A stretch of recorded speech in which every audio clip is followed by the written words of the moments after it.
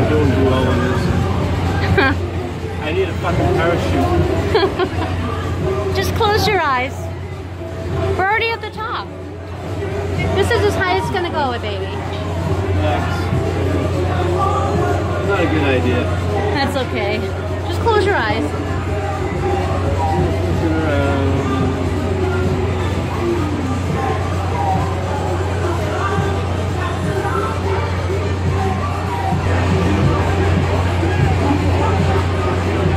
The monster trucks are getting ready over there at the grandstand. I like the going down part. Yeah, that was too hyped My poor husband. He's no, it doesn't really do well on heights.